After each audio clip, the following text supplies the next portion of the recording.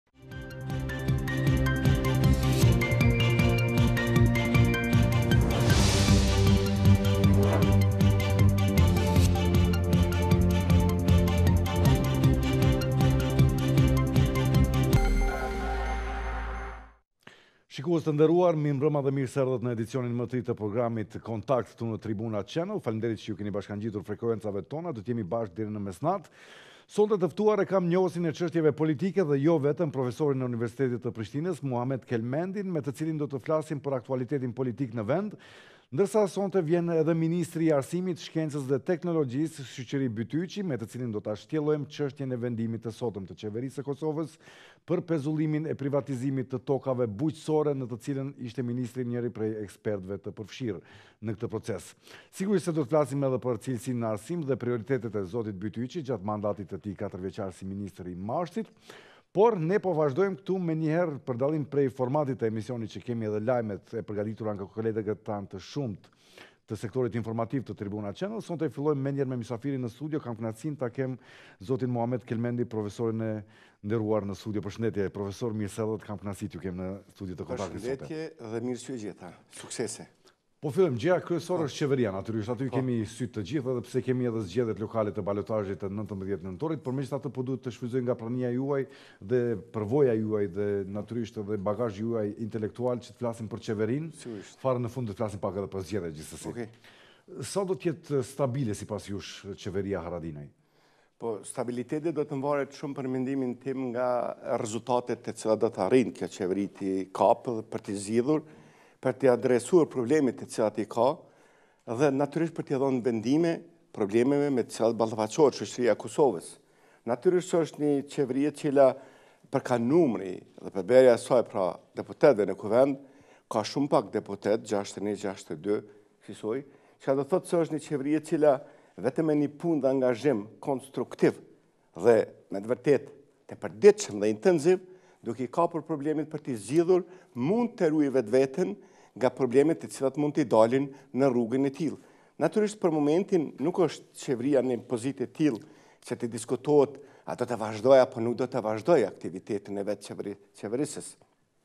Sepse në kuadër të temave të cilat janë, ende nuk janë ato tema të nxehta të cilat i quajmë ne në Kosovë, e të cilat natyrisht pastaj do të sjellin fërkime midis partive të ndryshme, pozitë, opozitë, dhe natyrisht nuk janë tema të rëndësisë së veçantë, sikur është demarkacioni, sikur është asociacioni, sikur është gjykata speciale dhe tema të tjera të cilat do të lindin pastaj nga këto tema, të cilat do të jenë shumë të rënda sidomos me Gjykatën Speciale dhe me Asociacionin, të cilat natyrisht do të krijojnë fërkime dhe mosmarrëveshje shumë të forta në skenën politike dhe jashtë skenës politike, për shkak se do të krijojnë dhimbje të mëdha shoqërore në përgjithësi në kombin tonë. E cekët më herët që qeveria tashmë ka pak deputet, ta quajmë kështu që është shumë, shumë fragjile, e ndjeshme sa i përket marrjes së vendimeve dhe Brenda ka edhe një, në koalicion ka edhe Listën Serbe, e cila mund t'i bllokojë disa procese, siç është paraparë edhe nga analistë të çështjeve të ndryshme, sipas gjitha gjasave dhe ju mendoni njëjtë, po a mund t'i bllokojë disa procese siç janë për shembull, e kam fjalën gjithmonë për Listën Serbe, siç është formimi i ushtrisë për shembull ose... Po, ushtria në kuptimin kushtetues dhe ligjor, Kosova i ka dy rrugë për formimin e ushtrisë. Rruga e parë është rruga e ndrimeve kushtetuese, a ne e dimë se ndrimet kushtetuese duhet zakonisht të bëhen me 2 të treta të votave të të gjithë deputetëve, po, dhe kuptohet se duhet të jenë po ashtu 2 të treta të votave të minoritarëve në këtë rast pra të listës serbe. Çka do të thotë se në qoftë se mbështetemi në idenë Të cilin Vuçiqi dhe të tjerët nga Beogradi ja ma përshëndet sepse janë udhëheqës të listës serbe dhe është krijuar kjo listë me marrëveshjen e 2013-s nëpërmes zotit Thaçi dhe Daçiqit në atë kohë dhe si e tillë është krijuar nga kjo, nga kjo marrëveshje ka dalë kjo listë serbe, sepse serbët e Kosovës ka qenë të organizuar në disa parti politike deri në këtë kohë, dhe në këtë kohë kemi unifikimin e tyre, dhe iu ka dhënë mundësia sipas marrëveshjes që të krijon qeveria e Beogradit këtë listë, Atëherë del që kjo listë serbe nuk do të votojë ndrimet kushtetuese, çka do të thotë se në qoftë se nuk do të bëhet një presion i madh nga Unioni Evropian, nuk do të bëhet një presion i madh nga Komisioni i Zgjerimit i Unionit Evropian, nga Shtetet e Bashkume të Amerikës dhe shtetet e tjera të cilat kanë interes për paqen dhe stabilitetin në Ballkan, në Ballkanin Perëndimor, sidomos në jug të Ballkanit, ku jemi ne, atëherë natyrisht nuk mund të presim një ndryshim të politikës së Beogradit në drejtim të asaj që lista serbe të votojë për ndryshimet kushtetuese. Dhe këtu është mirë që qeveria e Kosovës mos të humbë kohë në drejtim të saj dhe të hap temën e tillë të diskutimit, në mënyrë që sa më shpejt që të hapet, më shpejt do të dimë ne se ku gjindemi në raport me Beogradin, se duhet tani të jemi të qartë se në raport me Beogradin, me Beogradin do të formohet ushtria serbe në kuptimin kushtetues e jo në raport me listën serbe, sepse lista serbe është dorë e zgjatur dhe vendimet merren kryesisht në Beograd, do të dimë pra... Po cili është varianti tjetër, profesor, që... Se tani do vij, do të, po, dimë sa ma shpejt, se nuk kemi të bëjmë këtu pra me një që do të ndryshon ndryshimet kushtetuese, dhe Unioni Evropian e kupton këtë formë, se nuk mund të ecet përpara, edhe Pakti NATO, E kupton, zoti Stoltenberg, e kupton se lista serbe nuk është ajo, sepse se ka urdhër nga Beogradi të votojë dhe sidomos miqtë tonë strategjikë, sikur Shtetet e Bashkume të Amerikës, Gjermania, do e kuptojnë se nuk do të votojnë, shkohet në rrugën e dytë, ku nuk ka nevojë ndryshimet kushtetuese, vetëm me një ligj mund të formohet duke u mbështetur në nenet të cilat janë në Kushtetutë dhe me ligj mund të formohet ushtria e Kosovës. Pa dy të tretat e, pa dy të tretat, me një numër simbolik me 61 deputetë që duhet të votohen. Po kalojmë tek dialogu, një pjesë tjetër e ndjeshme e marrëdhënieve tona fqinjësore me Serbinë. A i konvenon Kosovës përfshirja e Shteteve të Bashkuara në dialog? Po, natyrisht unë dy çështje tani, e, kam qenë skeptik në dialogun e Prishtinës dhe Beogradit në udhëheqje të Unionit Evropian që janë zhvillu në Bruksel. Ni, mosanaliza e problemeve të tilla mbrenda, përmbrenda Kosovës, në spektrin e gjerë politik dhe jo vetëm politik, po edhe akademik dhe shkencor dhe profesorëve tjerë, të cilët së bashku do të përcaktonin një platformë politike mbi të cilën do të ndërtohej kjo platformë dhe do të bisedohej me Beogradin në, në, në, në Bruksel, Dhe natyrisht kam menduar pastaj se kjo platformë përsëri do t'i kthehet kuvendit, do të analizohet në kuvend, do të analizohet me këta njerëz që e kanë formuar këtë platformë dhe pastaj do të votohet në kuvend, çdo marrëveshje dhe në fund do të nënshkruhet. Në Kosovë, Kosova është dalë para akteve të kryera nga nënshkrimet të cilat askush s'i ka ditë deri në kohën para pak kohë, nuk i ka ditë as deputetët e Kosovës. Nuk i kanë ditë as ministrat e ndryshëm, nuk i kanë ditë as partitë politike dhe as akademikët, nuk i kanë ditë as profesorët, nuk i ka ditë kurkush hiç. Dhe rruga e dytë është, pse të bisedohet pa qenë prezent pikërisht Shtetet e Bashkume të Amerikës, të cilat e kanë meritën më të madhe, sa i përket edhe çlirimit në kohën e fundit të Kosovës, krahas çlirimtarëve të Kosovës. Kursi i procesit të lëvizjes së gjërave brenda? dialogut. Çfarë kuptimi keni? A mund të ndryshojë kursi do të thotë të ratifikohen disa marrëveshje të tjera dhe të aplikohen në terren sepse... Nuk mendoj se me qeverinë aktuale dhe me zotin kryeministër që është Ramushi, nuk nuk mendoj se Thaçi do të ketë një guxim të tillë që të bëjë ndonjë ratifikim të ndonjë marrëveshje tjetër jashtë kuvendit të Kosovës, bisedime do të ketë, Ata do të shkojnë në Bruksel me siguri në fillim të muajit dhjetor, do të bisedohet si të vazhdohet me diskutime të tilla, por nuk mendoj se mundet me shku sepse mund të kushtojë edhe me prishjen e koalicionit dhe me shkatërrimin e tillë dhe me shku në zgjedhje të jashtëzakonshme tjera.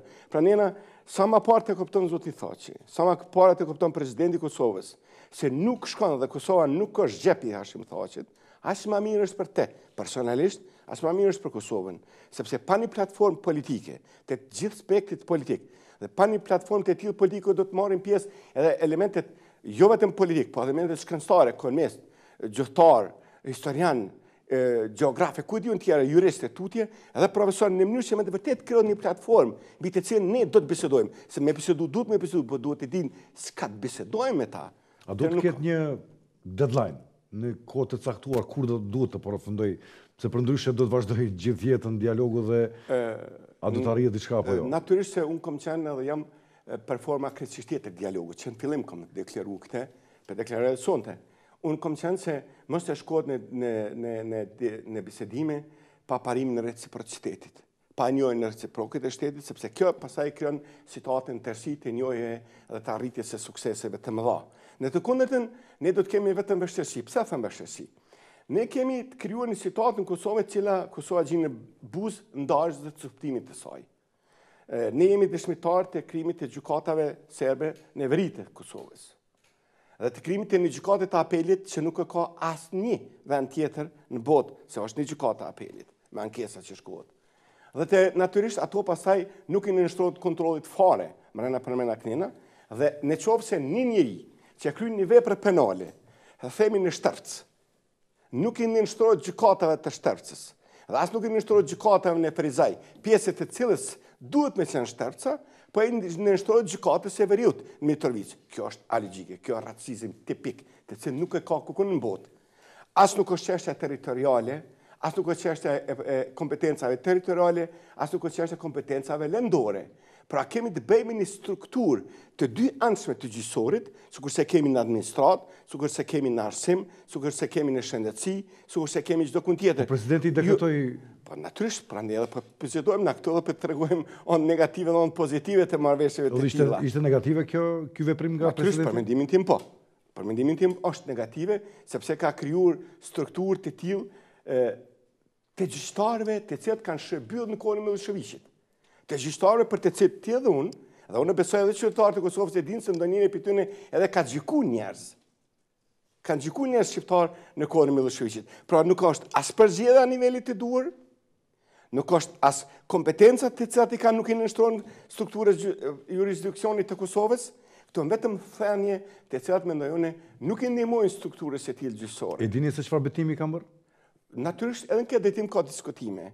Ne nuk e dimë betimin dhe deri sa nuk bëhet transparente betimi, atë natyrisht vjen me kuptu se kemi të bëjmë me betimin si pjesë e krahinës si krahinë në kuadër të Serbisë. I takon prezidentit të bëjë transparent në njërën të lëndës së betimit, se mos të jenë kësë kësë interpretim, që qytetarët të kuptojnë se si është bërë betimi, sepse ne e dimi, jemi dëshmitarë të gjithë, tani mund të shkojmë te ti deri në Graçanicë, me kamerën e juaj, Do shifni se aty nuk është as flamuri i shtetit të Kosovës, po flamuri i shtetit të Serbisë.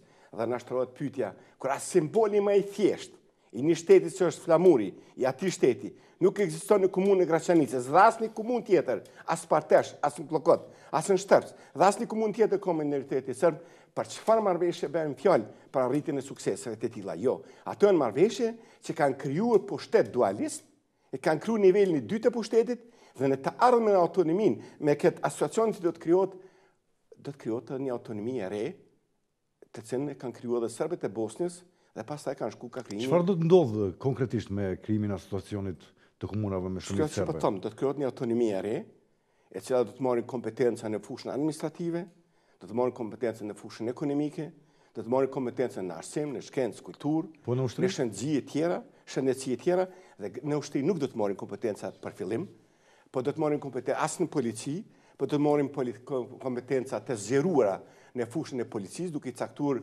komandantët e njësive policore të komunave ata vetë, në zgjedhje të tillë, dhe gradualisht pastaj do të shkohet ka krijimi i një subjekti të ri politiko-territorial që do të jetë autonomi dhe në fund edhe te ndarja e coptimi. Thjesht du të them, çdo veprim i cili është kry duke kriju komuna, mu më vjen shumë keq se nuk e themi me gjuhën e thjeshtë që ekziston situata e tillë në Kosovë. Duke kriju komuna të pastra dhe duke kriju autonomi të tillë të pastër, ne asgjë tjetër s'kemi bërë, vetëm e kemi ndarë dhe coptuar Kosovën. Dhe këtë, përgjegjësi më i madh në këtë hapësirë territoriale të Kosovës është presidenti i tashëm i Kosovës. për mendimin tim.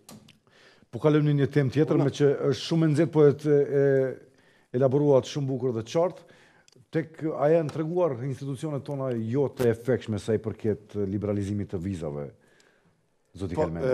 Po, institucionet tona nuk kanë pas çka të bëjnë në këtë drejtim, sepse situata ka qenë shumë e rëndë, në nivel në kuadër të vetë situatave të krijuara në këto dy vitet e fundit, sa i përket demarkacionit, ju e dini vetë, si është zhvilluar, përsëri, më vjen shumë keq se duhet përsëri të kritikoj gjëra, çështje të cilat nuk janë të mira me i kritikuar dhe nuk i marr të kritikoj, po i marr vetëm t'i them problemet të cilat unë i mendoj ashtu. E qartë. Ne e dimë se Kuvendi i Kosovës e ka pas një rezolutë të cilën e kanë nxjerrur në vitin 2013, kur kanë filluar bisedimet edhe në kohën e Maqedonisë, por edhe më vonë me Malin e Zi për tërheqjen e vijës kufitare demarkimin. Dhe thuhet se asnjë marrëveshje e demarkimit sidomos me Malin e Zi, marrëveshje e tillë, mos të nënshkruhet para se të vjen në kuvend për të diskutuar dhe për të marrë pëlqimin nga kuvendi i Kosovës për po apo jo dhe pastaj të shkohet dhe të nënshkruhet. Dhe çfarë bëhet? Marrëveshja as që vjen në kuvend, marrëveshjen as që e diskuton dikush, marrëveshjen nuk e njifte kurkush në kohën e tillë, nënshkruhet në Vjenë nga ministri i atëhershëm i punëve të jashtme, të jashtme zoti Thaçi dhe ministri i punëve të mbrendshme zoti Hyseni, vjen marrëveshja dhe kur vijnë këtu shifet se është bo lëshimi. Dhe natyrisht, erdh situata pastaj, të cilën e keni parë ju vetë, ju keni përcjell situatën e tillë, hudhja e gaznave, e tjera, tjera, tjera, gjo që e detyroi pastaj, e detyroi Unionin Evropian, të paraqet një kusht që deri në këtë kohë nuk ishte kusht fare hiç për liberalizimin e vizave. Kushti i vetëm që ishte, Ishte çështja e luftimit të krimit dhe të korrupsionit. A iu bë e padrejtë Kosovës në këtë rast? Unë? A iu bë e padrejtë Kosovës? Jo, edhe unë me pas qenë në Komisionin Evropian për Zgjerim, edhe unë do e paraqitsha këtë çështje. Pse do e paraqitsha kushtin e demarkimit, demarkimit? Për arsye se i kisha dy palë të, të kundërta njëna me tjetrën. Shkonja unë si kryeministri i Kosovës në Bruksel dhe bisedonja thonja Kosova s'po hup kurgjë hiç. Marrëveshja është shumë në rregull. Vinin ata këtu në Kosovë, apo nuk vinin në Kosovë, e shifnin kuvendin e Kosovës, duke hedhur bomba lotsjellës, duke pas konflikte, demonstrata tutje, diçka nuk është në rregull. Dhe ti dhe unë me pas qenë vetë në Bruksel, do të thonim, jo zotni, pa demarkim nuk do të ketë. Për arsye se konfliktet ishin shumë të ashpra, dhe ne lujtim një lojë shumë të keqe. Pozita dhe opozita. Pozita në drejtim të bindjes së faktorit ndërkombëtar, se me demarkimin e tillë dhe me marrëveshjen e tillë nuk kemi humbur asgjë, dhe opozita me veprime të tilla të cilat i kishte përcaktuar vetvetes në atë kohë me ndal këtë çështje. Dhe çështja e dytë ishte çështja e luftimit të krimit dhe të korrupsionit, të cilën për mendimin tim përsëri është një çështje shumë domethënëse, por duhet të them një faktor shumë të rëndësishëm këtu. Unë nuk mendoj se se liberalizimi i vizave S'bëhet thjesht pse nuk është luftu krimi dhe korrupsioni në Kosovë, se po luftohet në ato përmasa të vogla të mëdha mirëpo po luftohet. Nuk kemi ku me ditë sa keq sa Maqedonia për shembull që ka liberalizim. Do thotë demarkacioni është problemi kryesor. Përsëri do vi te demarkacioni. Përsëri nuk kemi më keq se Mali Zi ose se Serbia kur kanë konflikte të mbrendshme po ashtu. Pastaj demarkimi nuk është edhe problem sepse Serbia e ka vijën kufitare të pademarkuar edhe me ne edhe me Mal të Zi tutje tutje. Çështja është thjesht e mos liberalizimit të vizave shkaku i Serbisë dhe raporteve me Rusinë. Këtu është çështja, nuk ka çështje tjetër. Dhe këtë është mirë pra faktori politik shqiptar t'ia thotë qartë Unionit Evropian. Zotni, nuk është në pyetje çështja e demarkimit, nuk është në pyetje as krimi dhe korrupsioni. Po si mund të ndikojë Rusia në këtë rast, profesor? Për arsye se Unioni Evropian nuk është puna se ndikon Rusia, po Unioni Evropian ka frikë se Serbia po lu po me dy karta, ju e patë dhe Sekretari, ndihmës sekretari i jashtëm i Shteteve të Bashkuara të Amerikës, deklaratat e tija që i bëri në Beograd, tha ju nuk mund të shkoni me dy këmbë, njënën në Bruksel e tjetrën në Moskë. Duhet ta shkëputni një herë për gjithmonë. Këtu Evropa është shumë e frikshme. Sidomos Brukseli është shumë i frikshëm. Është i frikshëm nga Rusia aktuale, e cila ka arritë të armatoset mjaftshëm, ka arritë të krijojë një ushtri shumë profesionale, armë shumë moderne, Dhe kërcënimet janë adekuate. E shohim në Ukrainë, e shohim në vise të ndryshme, e shohim në Siri, ku e patë edhe ju se edhe SHBA-ja nuk po futet në, s'e mundet marrë dot konfliktet e tilla. Prandaj e ka frigën Unioni Evropian, se Serbia po bën presion një të tillë, se në qoftë se ju s'do neve na pranoni. Në qoftë se ju bëni këtë, këtë, këtë, këtë, ne shkojmë menjëherë në Rusi. Dhe natyrisht Unioni Evropian nuk e do një Rusi të armatosur me një qendrat e veta ushtarake midis Serbisë në Beograd, sepse rreziqet janë shumë të mëdha për këtë Evropën jugore dhe qendrore. Prandaj prapë ta përsëris edhe një herë me qëllim për shikuesit e juaj, unë e kam këtë mendim.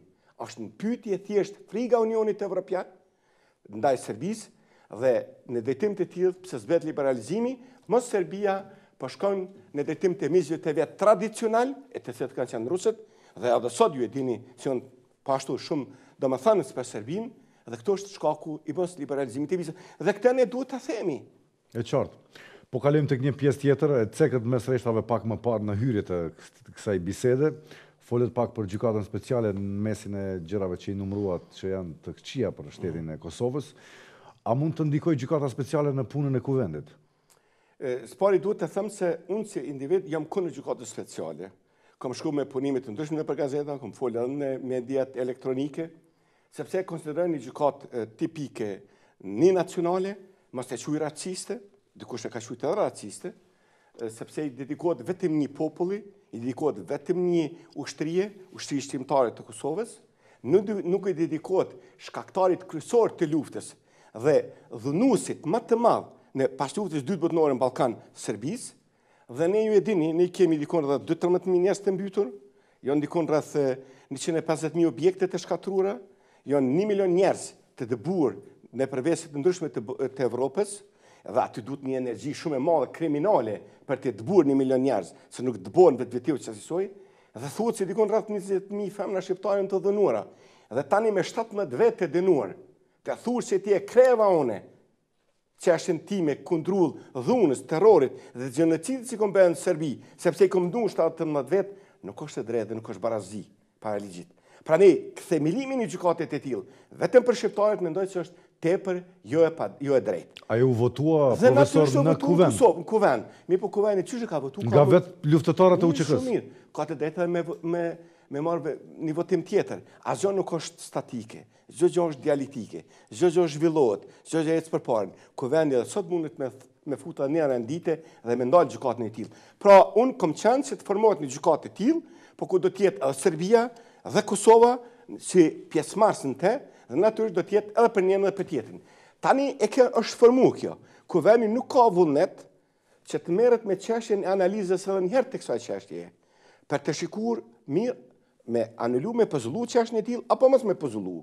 Sepse kur t'ia bojsh ti vetit, s'ki ku ankohesh kërkun hiç. Me ta bo dikush tjetër, ki mundësi me kundërshtu. A kështu një thënie popullore. Dhe natyrisht ë do të jemi ne dëshmitarë dhe do të jetë me të vërtet një dhimë shumë e madhe, do të merren njerëz Me emër të mëdhenj, njerëz të cilët kanë luajtur një rol shumë të madh në skenën politike të Kosovës këto vite të fundit apo në deceniet e fundit. Dhe natyrisht do të jetë turbulenca, por nuk mendoj se populli jonë është i nivelit të tillë që të shkatërrojë shtetin e vet. Pakënaqësi do të ketë, protesta do të ketë protesta në rrugë e tjera tjera, po jo edhe shkatërrimtare për shtetin e vet të Kosovës. Sepse, Çdo veprim që do të shkatërronte shtetin, do të ishte një armë shumë negative dhe një armë shumë e dëmshme për shtetin tonë të Kosovës dhe një armë shumë e fortë për Serbinë në drejtim të asaj të theksojë se shteti i Kosovës nuk është shtet stabil dhe nuk e garanton paqen, sepse paqja garantohet vetëm duke i takuar Serbisë Kosova, siç e kanë ata mendimin e tillë. Do thotë do të ndikojë në kuvend. Natyrisht që do të ndikojë në kuvend, sepse do të merren njerëz nga kuvendi, do të merren njerëz nga pushteti shtetëror, Do të merren njerëz nga presidenca, do të merren njerëz nga ushtria, nga FSK-ja siç është aktualisht. Mendoni që edhe nga presidenca do të marrin? Do të merren njerëz nga shumë, po natyrisht sepse ne jemi dëshmitarë që në fund të fundit shkaku kryesor i themelimit të kësaj gjykate është raporti i Dick Martit. I bërë në Këshillin e Evropës. Dhe në raportin e Dick Martit, personi kryesor që akuzohet në te, është presidenti tash, zoti Hashim Thaçi. Dhe është alogjike të marrin ty për shembull, e mos të marrin atë që është akuzu se ka qenë edhe shkaktari i themelimit të gjykatës speciale. Prandaj unë pres një hierarki të marrjes së njerëzve në përgjegjësi të tillë, ndonëse unë për veti edhe një herë po thom, jam kundra asaj marrjeje të tillë, jam për atë që çdokush të jap përgjigje para popullit të vet, Jam për atë që në qoftë se ka kryer krime, korrupsion dhe veprime të tilla, edhe unë si person të përgjigjna para gjykatës së Kosovës dhe këtu në Kosovë, edhe Hashimi e çdokush tjetër, po jo për veprimet e tilla të jap llogari para një gjykate tjetër, ndonëse ne jemi vetë shkaktarë të frymimit, siç thatë ju të kësaj gjykate. E qartë. Zoti Kelmendi, profesor, faleminderit që ishit sonte pjesë e kontaktit në Tribuna Channel, ishte kënaqësi natyrisht që folëm për disa tema, shfrytëzuam nga prania juaj për të bërë një analizë sa i përket këtyre çështjeve. Faleminderit edhe një herë në emrin e ekipit. Faleminderit juve, urime dhe suksese. Mirupafshim në emisione të tjera. Shikues të nderuar, posa e përfunduam edhe bisedën me njohësin e çështjeve politike, zotin Muhamet Kelmendi, profesor në Universitetin e Prishtinës. Pas pak çastesh vjen në studio ministri i Arsimit, Shkencës dhe Teknologjisë, zoti Shyqiri Bytyçi, me të cilin do të flasim për një temë shumë të ndjeshme dhe shumë Natyrisht për një lajm shumë të mirë për Kosovën, e cila do të jetë së shpejti përpara sa i përket zhvillimit ekonomik, mbase do ta shfrytëzojmë edhe praninë e ministrit në studio për të folur pak edhe për çështjen e arsimit dhe cilësinë e tij. Qëndroni me ne, ndjekim pak mesazhe të miqve tanë afaristë, pa të cilët natyrisht nuk mund të frymonim dhe kthehemi në studio me bisedën e dytë në kuadër të këtij edicioni të programit të drejtpërdrejtë Kontakt. Mos ndërroni kanalin, nuk keni asnjë arsye për ta bërë këtë gjë.